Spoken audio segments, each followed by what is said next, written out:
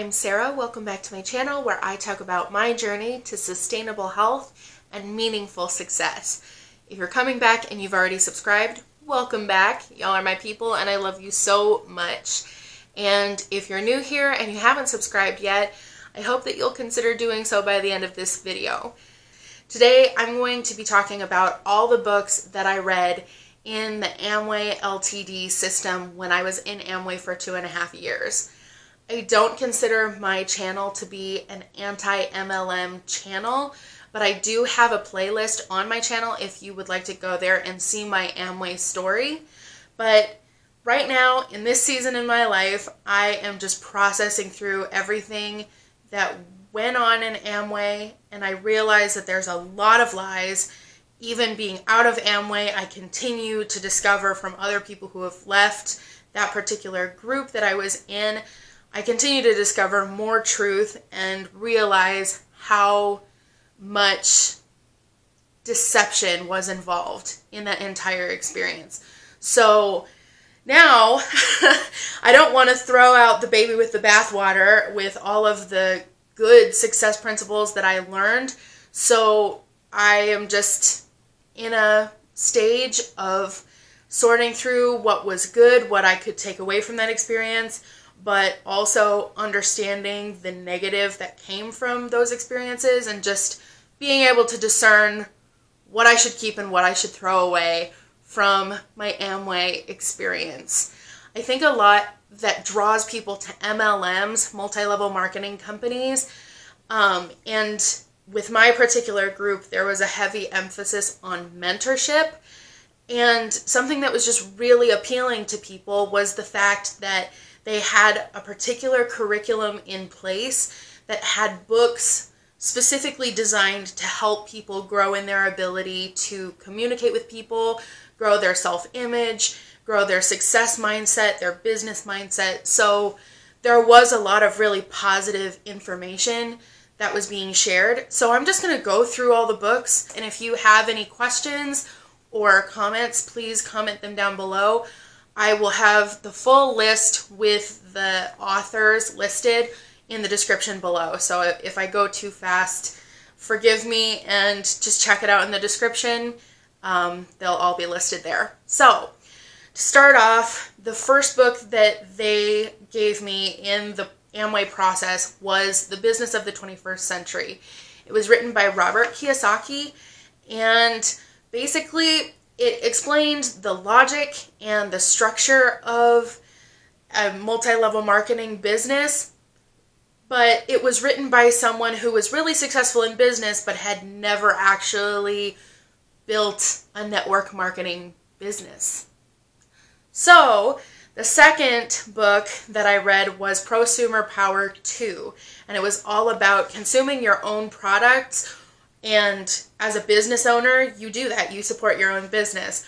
But in a multi level marketing sense, it was misused information to kind of further feed the pyramid scheme purchasing of your own products and not actually selling retail.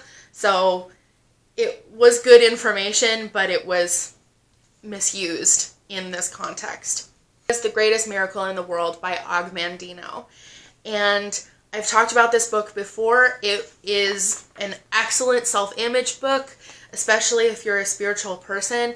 And this was the book that really solidified my desire to hang out more with these people because I think that they believed in me and I thought that they believed in me and I thought that they were going to help me build myself to my potential. The Go Giver was another book that they gave recruits um, before they actually signed them on to business. It emphasizes the important uh, importance of connecting and networking, but obviously it's misconstrued to connect your recruits to your upline. And so that's how they connected this book to network marketing. But in general, this is an excellent success principle um, of being able to network. And it's not about what you know; it's about who you know. And this this book really does reinforce that. An Enterprising Life is an autobiography by Jay Van Andel, and it basically tells the history of Amway and it glorifies Amway's founding. Compassionate Capitalism by Rich DeVos emphasizes the importance and the benefit of being able to start your own business and how empowering it can be for people who come from um, an underprivileged background, but it leaves out how many people are harmed in a pyramid scheme. Live the Dream, No More Excuses by Larry Winters. Larry Winters was my upline diamond. Um, no, he's my upline double diamond. So, um, yeah, it's a rags to riches story written by him. It's his autobiography, but you know, rags to riches, but at what cost?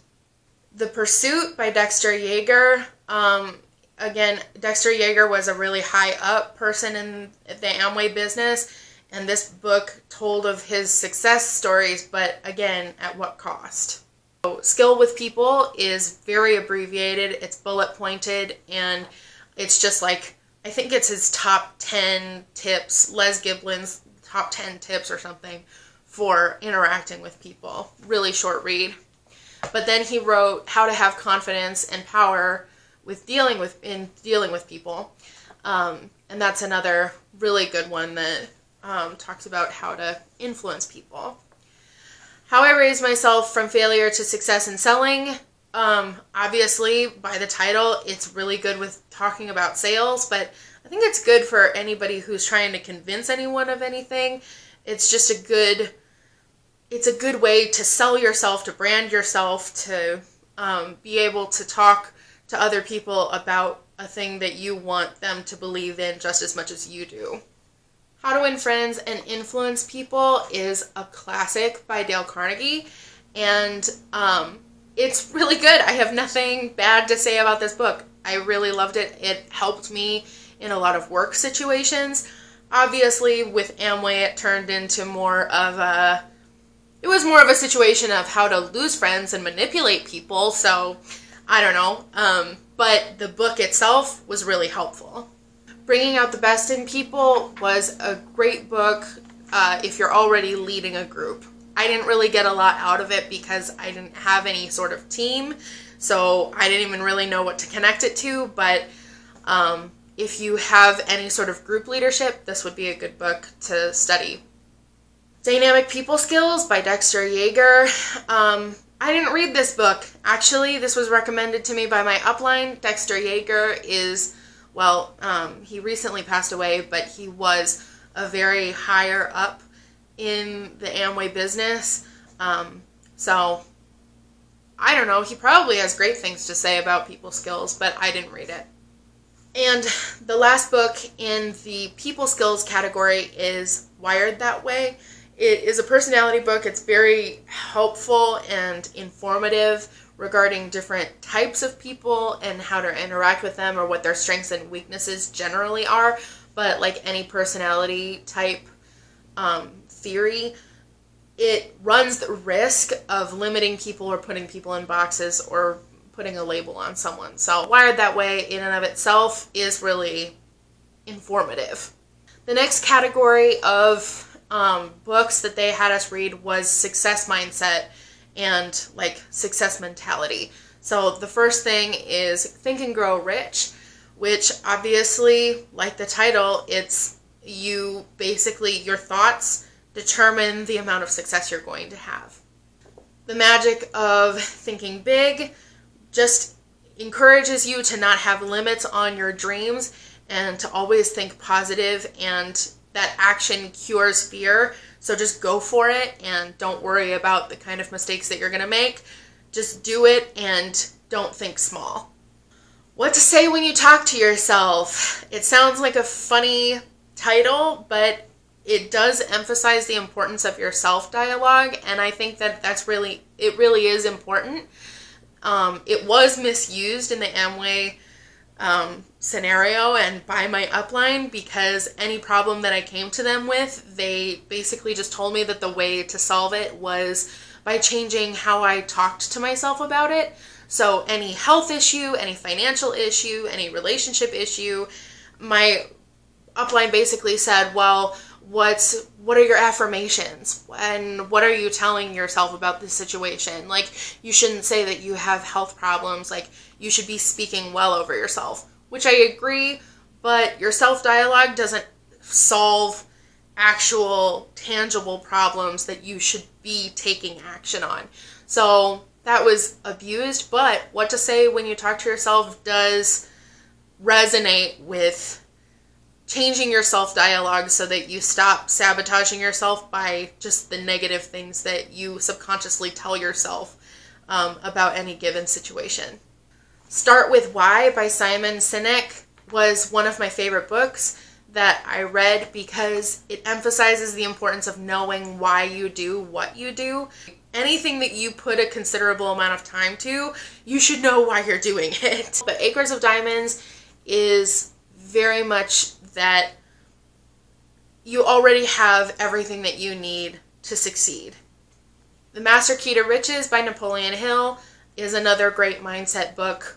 The 12 week year is an incredible book, I think, for achieving personal or business team goals. If you are planning out your quarter or you're planning out your, your business year, the 12 week year really helped me map out my goals in a more manageable amount of time.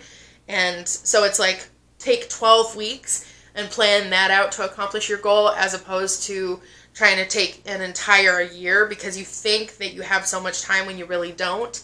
Whereas 12 weeks, you can really focus and accomplish a lot more in a shorter period of time. So that was a really, a really key book that I, I enjoyed. The Go Getter is another book about not stopping no matter how many times you are rejected. The Compound Effect was my absolute favorite book, and that is all about habits. The Compound Effect is a small, steady, consistent action taken over a long period of time will produce great results. Wooden on Leadership is written by John Wooden, the UCLA coach who coached the basketball team through 12 consecutive NCAA championships.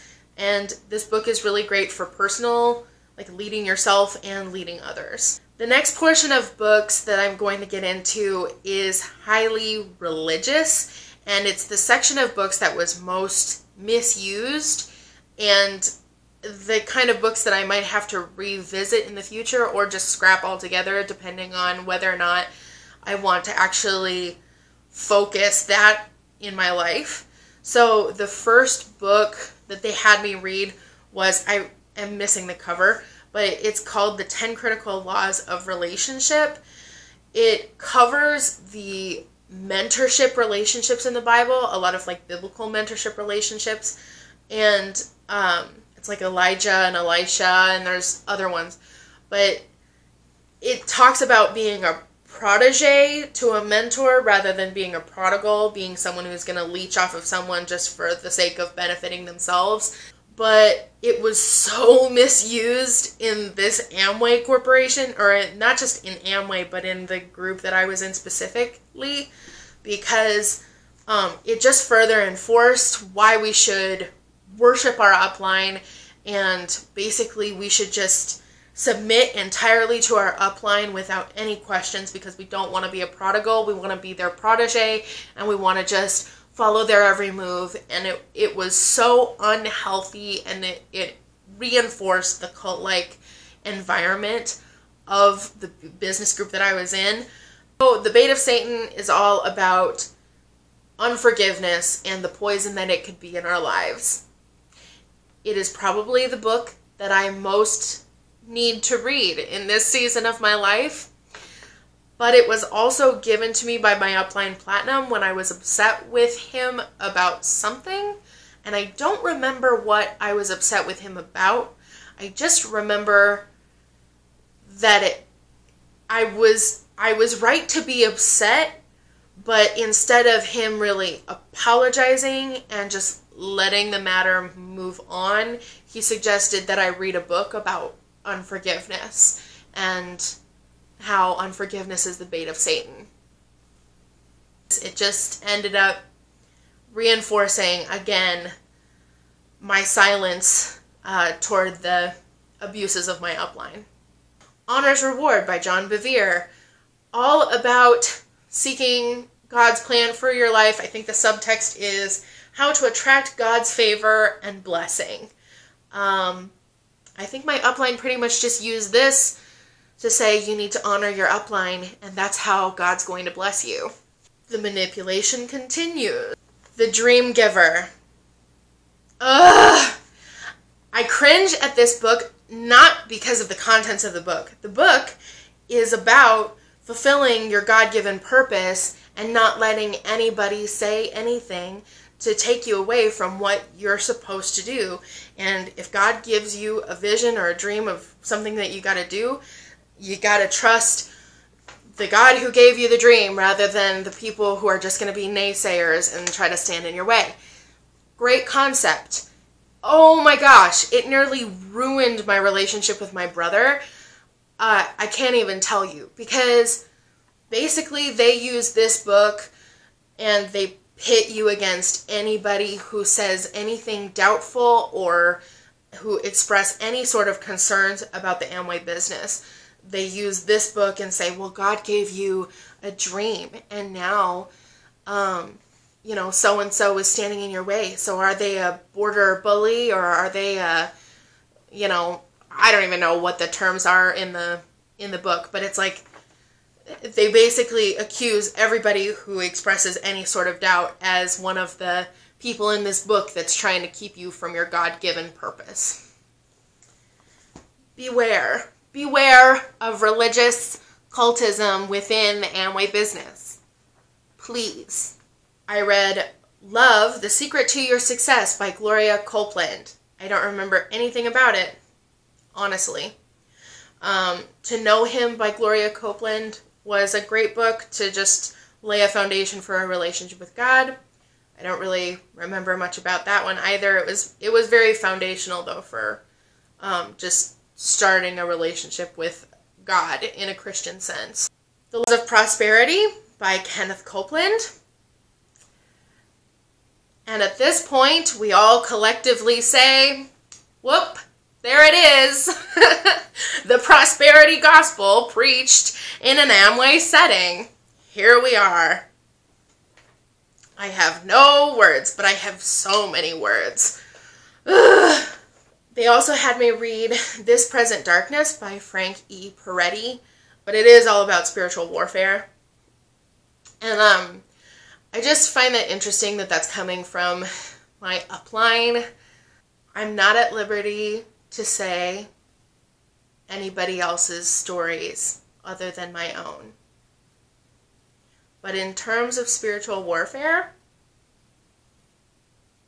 vengeance is mine. I will repay, says the Lord. These words are brought to mind. Interesting. I also read the book Captivating um, it's specifically geared toward women. Women. Um, they also have the men read the the other book, Wild at Heart. It speaks to like our nature as women or our nature as men, and captivating did help me work through a lot of issues. I don't know if it applies to all women. I don't know. But it seemed to apply to me at the time. And the final book that they had me read was Live the Let Go Life by Joseph Prince. I've already talked about this, but it basically was let go and let God. I definitely disagree with the premise of the book as that was presented. So maybe in a different context I would feel the same way, but I really doubt it. So, meh. You know, because I had been an active reader before business. And then when I got into business for two and a half years, I read nothing unless it was handed to me by my upline. Um, and well, recommended to me by, by, by my upline. I obviously had to purchase the books through the leadership team de- development website so that all my money would be going to leadership team development, but that's a different story. Covered in the radio show that I will link in the description because that happened this last Saturday night. So check that out. But anyway, um, so the first book that I grabbed off the shelf at Barnes and Noble, um, I'm not going to mention the title because um, I'm just not going to, but this is the book that I read. um, the first second I left Amway. I think it had some really interesting principles. It had different philosophy than I was used to reading. So I was like, definitely soaking that in. I don't agree with the majority of what he said, um, but I think that it definitely opened my mind to start seeing suffering a little bit differently and start accepting the world for what it is and starting to live with myself and accepting myself for who I am now and not putting so much pressure on something that I don't even know is going to happen in the future, which is the future itself. So to live more in the present and to be able to deal better with myself more in the present. So that was a benefit from this book, but yeah, I wouldn't I wouldn't recommend I wouldn't necessarily recommend this to anybody, but that was how I was feeling when I left Amway. um the next oh gosh. Yeah, I really went off the reservation when when I left Amway. So the next couple of books after that was the story of Shannon Rose, part one and part two. Um, yeah, so Shannon Rose is a former porn star and now a YouTube vlogger. Um, is it needlessly vulgar? Yes. But um, I did find a lot of redemption in this book because of the fact that she came from such an extreme and negative background. Um, she went through a lot of tra- trauma in her childhood. Then she took a lot of life roads that many people would look down on and see as immoral or just, you know, straight up shun her and think that she was disgusting. But then she ended up turning her life completely around, and I don't know whether or not she regrets those life decisions, but just how she worked through those issues and how she came to the life that she's living now to me was very inspiring the next book that I read was Ecclesiastes. It's a very sharp turn from ex porn star to a book that you can find in the Bible. Um, but I did read the whole book of Ecclesiastes. It's written by King Solomon of Israel. Um, he was a very wise king and he was also very wealthy. So he went on this whole journey to find what the meaning of life is. And the things that he wrote were just so relatable and so applicable to the things that I think a lot of people go through that challenge of, you know, what's my purpose? What what am I supposed to do with this world? I mean, or what am I supposed to do with my life? Is everything meaningless? Meaningless? And just if you've ever questioned that, um, Amway might find you and exploit you for that kind of vulnerability, but the book of Ecclesiastes does give so much peace about finding success and finding fulfillment and joy in your life. Um, and so that was it was very calming to me.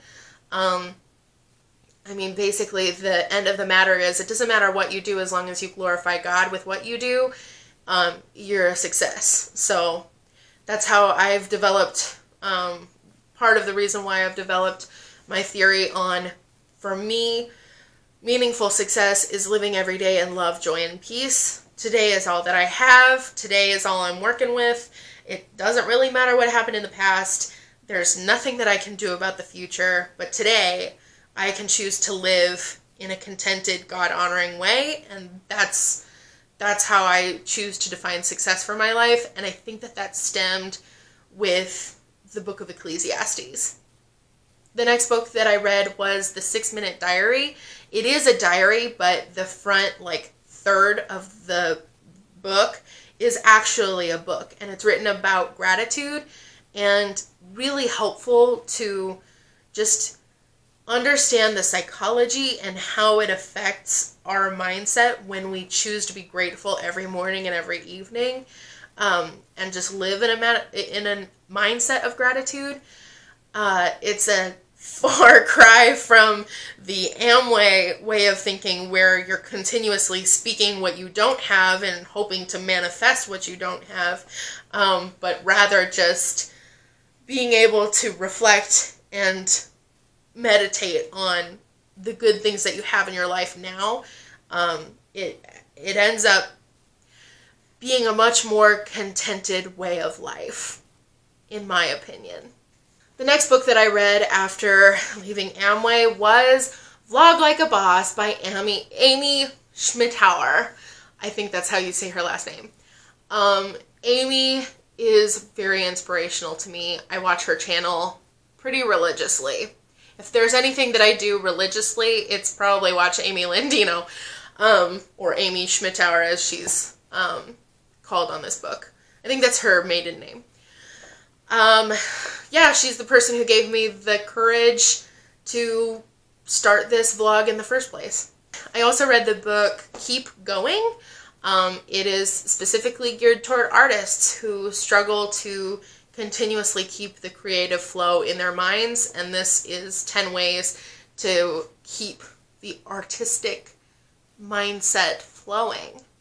I did finish Mere Christianity it was just really helpful in terms of getting a basis of Christianity and what their beliefs are without actually having to use the Bible as an evidentiary support.